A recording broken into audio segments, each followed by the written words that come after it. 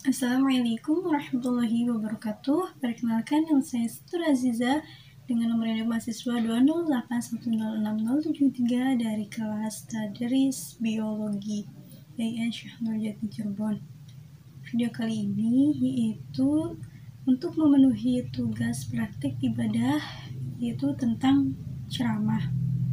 Berikut adalah video yang mengenai tentang ceramah. Assalamualaikum warahmatullahi wabarakatuh.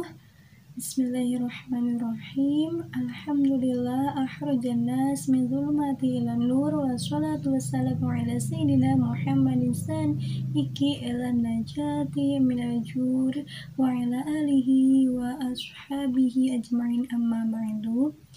Yang saya hormati Bapak Ibu hadirin sekalian, Mari kita panjatkan uh, puja dan puji syukur kehadirat Allah Subhanahu wa taala yang selalu memberikan kita kenikmatan berupa nikmat jasmani dan juga nikmat rohani sehingga kita semua bisa berkumpul di tempat yang penuh berkah ini.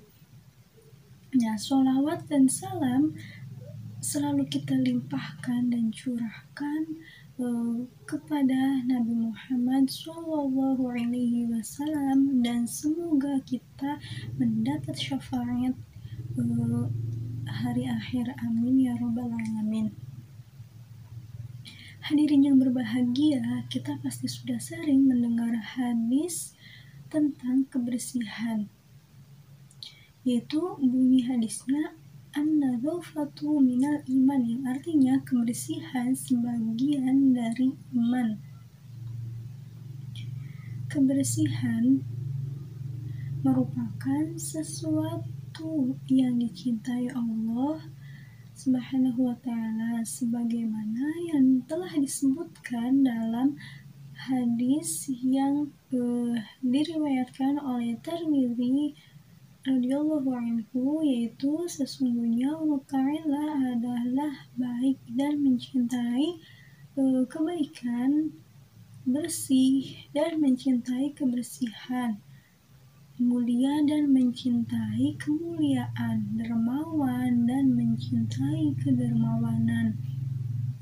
Maka uh, bersihkanlah halaman rumahmu dan janganlah kamu menyerupai orang Yahudi.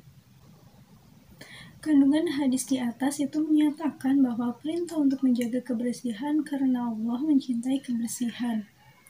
Untuk mendapatkan cinta Allah, upayakan untuk selalu uh, bersih, bersih diri, bersih hati, bersih lingkungan.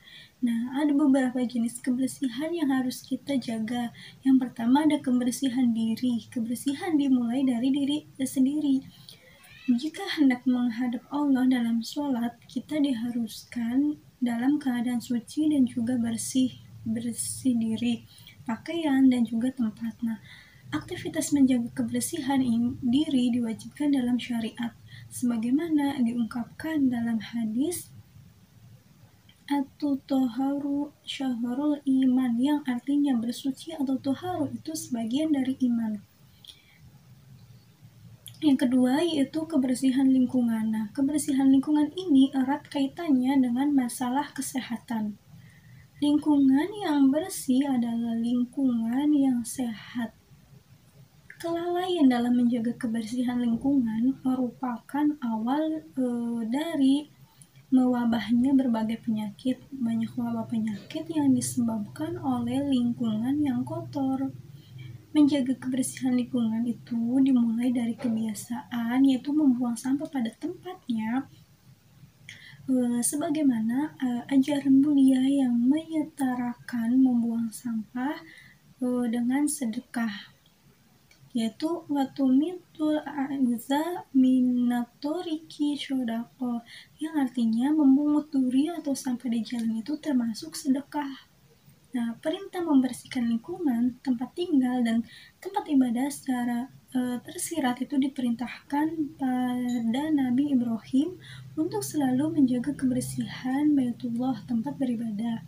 Nah, rumah Allah Hendak perintah ini ditauladani juga bagi segenap muslim dalam menjaga kebersihan lingkungan. Yang ketiga, macam kebersihan yaitu bersih hati, ber, maksudnya bersih hati itu dengan ikhlas. Makna ikhlas adalah menjernihkan dan memberikan hati uh, dari segala sesuatu yang mengotorinya Ikhlas adalah segala kecenderungan Allah, menjadikan kerinduan Allah sebagai alasan untuk mengerjakan perintah dan meninggalkan larangannya. Nah, Allah berfirman dalam surat Al-Bayyinah ayat 5 yang artinya itu padahal mereka tidak disuruh kecuali supaya menyembah Allah dengan mengikhlaskan ketaatan kepadanya dalam atau menjalankan agama yang lurus dan supaya mereka mendirikan sholat dan menunaikan zakat dan yang demikian itulah agama yang lurus macam kebersihan yang terakhir yaitu bersih harta tazkiyah adalah mensucikan harta dengan zakat. Nah, zakat sendiri itu merupakan rukun yang ketiga dari rukun Islam. Secara harfiah, zakat berarti tumbuh, berkembang, mensucikan atau membersihkan. Sedangkan secara terminologi syariahnya yaitu zakat merujuk pada aktivitas untuk e, memberikan sebagian kekayaan dalam jumlah yang perhitungan di, tertentu untuk orang-orang tertentu sebagaimana ditentukannya. Nah, kemudian e, perintah menunaikan zakat ini zakat yang terdapat dalam Al-Qur'an di antara E, sebagaimana tercantum dalam surat Al-Baqarah ayat 43 yang artinya itu dan dirikan sholat, tunaikan zakat dan ruku beserta orang-orang yang ruku. Zakat juga merupakan sarana untuk membersihkan harta yang e, kita miliki karena sesungguhnya di sebagian harta itu terdapat hak orang-orang yang dititipkan melalui rezeki yang kita peroleh dengan uh, kita mengeluarkan zakat, harta menjadi bersih dan pemanfaatannya akan memberikan berkah yang lebih baik. Demikian Islam agama yang lurus dan terang e, memberikan tuntunan pada umatnya untuk selalu menjaga kebersihan. Memahami maknanya, meng, e, mengagungkannya, men, Jadikannya kebiasaan hidup karena sesungguhnya Allah itu bersih dan mencintai kebersihan.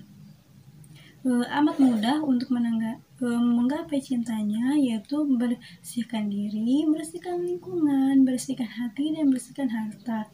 Nah, mungkin cukup sekian yang e, bisa saya sampaikan. Mohon maaf bila ada kata-kata yang kurang tepat atau ada kata yang menyakiti hati rekan semua. Wabillahi taufiq wal hidayah. Wassalamualaikum warahmatullahi wabarakatuh.